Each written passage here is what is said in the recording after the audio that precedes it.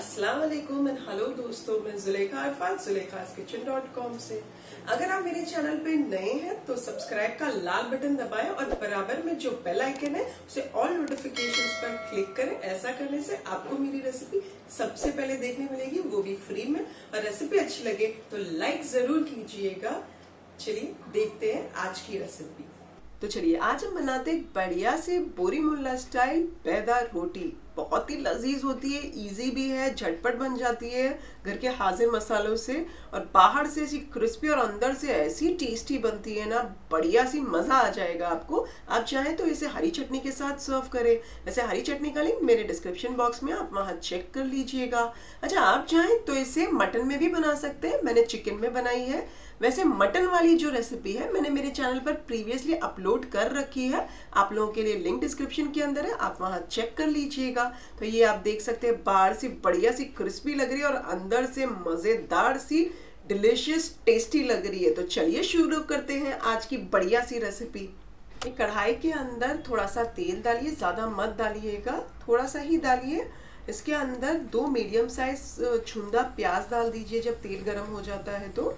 और जब छुंदा प्याज डाल दें तो उसे फास्ट आँच पर फ्राई करें। आपने तब तक फ्राई करना है जब तक लाइट गोल्डन ब्राउन नहीं हो जाती। जी हाँ थोड़ा समय लगेगा। लाइट गोल्डन ब्राउन हो जाए प्याज तो इसमें डाल दीजिए एक टेबलस्पून अदरक लहसुन का पेस्ट और उसे भी फास्ट आँच पर फ्राई करें। आपने तब तक फ्राई करना है जब तक कच्चेपन की खुशबू ना चली जाए।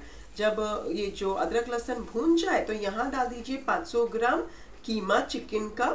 और बहुत अच्छे से मैंने इसे धो लिया, दो तीन पानी से, और नितान दस मिनट के लिए साइड पर रख दिया था। अब इसे भी मिक्स कीजिए, नमक डाल दीजिए स्वाद अनुसार।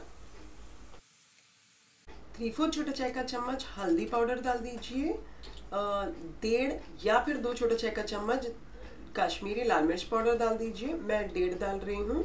और दो छोटे चाय के चम्मच, धनिया पाउडर डाल दीजिए थ्री फोर छोटा चाय का चम्मच, भुना हुआ और पिसा हुआ जीरा पाउडर डाल दीजिए और थ्री फोर छोटा चाय का चम्मच, गरम मसाला पाउडर डाल दीजिए। चूल्हा मीडियम पर रखिए और सारी चीज़ों को बहुत अच्छे से मिक्स कर लीजिए। और एक से दो मिनट तक इसे पकने दीजिए। जब एक से दो मिनट हो जाती है, फ्राई कर लें आप इसे मसालों में, उसके बाद पानी डाल दीजिए। तकरीबन मैं यहाँ डाल रही हूँ आधा कप, आप कम भी डाल सकते हो वन फोर्थ कप भी डाल सकते हो। पानी डाल दीजिए और एक उबाल आ जाने दीजिए। आप चाहें तो फास्ट आँच भी कर सकते हैं। जब एक उबाल आ जाए तो स्लो आँच करके इसे ढक कर पकने दें पंद्रह मिनट के लिए। चलिए, तकरीबन 15 से 20 मिनट हो चुकी है। ये देखिए, बहुत अच्छे से पक चुका है, कीमा हो चुका है। जी हाँ और आप चाहें तो चेक भी कर सकते हैं, लेकिन देख सकते हैं कितना पूरी तरीके से ड्राई हो चुका है और नीचे हल्का लगने लगा है मतलब परफेक्टली हो चुका है। मैं यहाँ चूल्हा बंद कर देती हूँ और ठंडा होने रहने देती हूँ।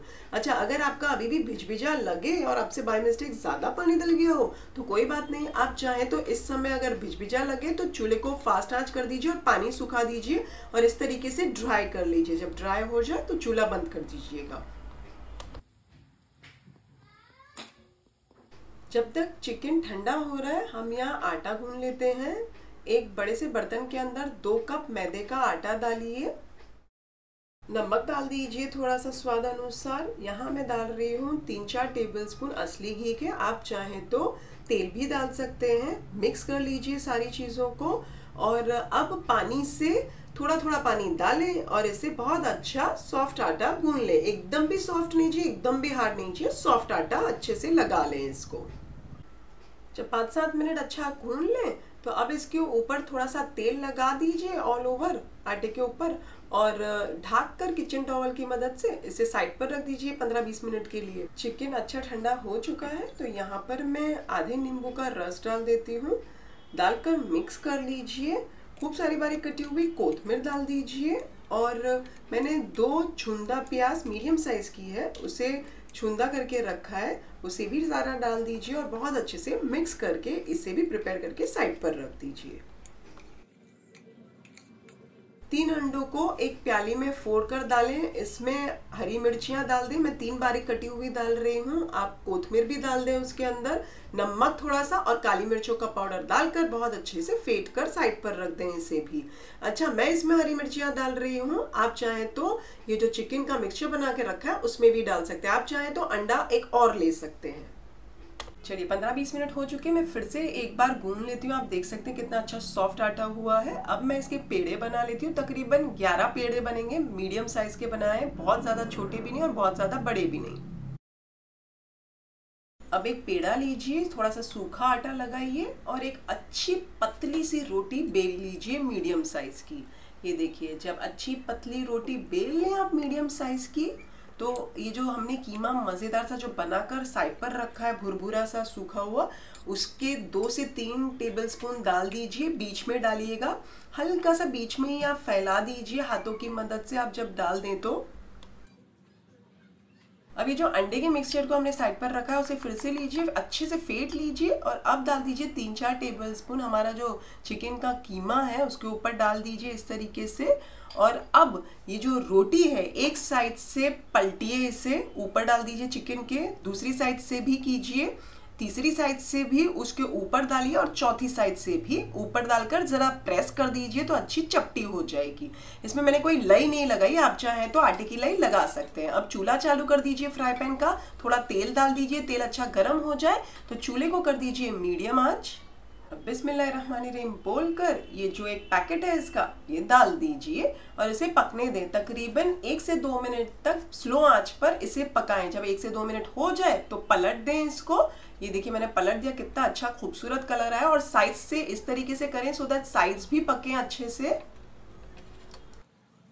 अब चूल्हे को कर दीजिए मीडियम आँच और मीडियम आँच पर भी पकाएँ इसी तरीके से स्लो मीडियम स्लो मीडियम करते जाएँ, उलट पलट करते जाएँ और साइड्स पे भी अच्छे अच्छे से उसे पकाते जाएँ सो so दैट हमारा अंदर का जो कीमा तो पका हुआ है, लेकिन जो अंडा डाला है, वो पक जाए। और ये जो ऊपर की जो हमारी ये जो रोटी है, वो भी बहुत अच्छे से अंदर की वाली भी पक जाए। तो इसके लिए उलट पलट करते जाएँ। जब तीन चार मिनट हो जाए और गोल्डन ब्राउन क्रिस्पी हो जाए तो इसे निकाल कर साइड पर रख दीजिए। टिश्यू पेपर के ऊपर इसी तरीके से सारे फ्राई कर लें। अच्छा आपने देखा कि मैं इसे कोई भी तरीके से चिटका नहीं रही हूँ। आप चाहें, अगर आप नए हो तो थोड़ा सा आटे का लई बना लें। कुछ नहीं है थोड़ा सा आटा लीजिए गेहूँ का और थोड़ा सा पानी डालकर गाढ़ा एक पेस्ट बना लीजिए और इसे चिटका लीजिएगा। लेकिन वैसे भी अगर नहीं भी चिटकाते तो जैसे आप देख सकते हैं, मैं बना रही हूँ। कभी भी ऐसे खुले नहीं है, बट आप कंफर्टेबल ना हो तो चिटका लीजिएगा। थोड़े से तेल में ही फ्राई कीजिए, जैसा मैंने डाला है। डीप फ्राई मत कीजिए, बहुत ऑयली ऑयली लगेंगे और छूटेंगे भी फिर, क्योंकि हमने लई नहीं लगाई है तो। आप चाहें तो अंडा कम डालकर मेरी तरह चिकन का ज़्यादा मिक्सचर डाल सकते हैं, या आपको ज़्यादा बनाने हैं तो अंडे का मिक्सचर ज़्यादा डालिए और कीमा थोड़ा थोड़ा डालकर ज़्यादा बना लीजिए। वैसे मैं कम अंडा डाल रही हूँ तो इसके लिए मैंने तीन अंडे लिए जैसे मैंने आपको दिखाया। अगर वो कम पड़ जाता है तो फिर से आप तीन अंडों का बना लीजिए, या एक साथ आप चार या पाँच अंडे को ही एक बाउल में डालकर सारा मिक्सचर बनाकर रेडी रख लीजिए। अगर आप बड़ी रोटी बनाएँगे और कीमा और अंडा भी ज़्यादा लगेगा उसमें और बड़े बड़े बनेंगे तो जब अगर आप बड़े बना रहे हो तो कम बनेंगे। और मैंने यहाँ ग्यारह बनाए हैं, क्योंकि मैं मीडियम साइज़ के बना रही हूँ तो वो आपके ऊपर है, छोटे भी बना सकते हो तो ज़्यादा बनेंगे। तो चलिए ये बन गए बोरी मुल्ला स्टाइल बैदा रोटी, और इसे गर्मा गर्म हरी चटनी के साथ सर्व करें और इंजॉय करें।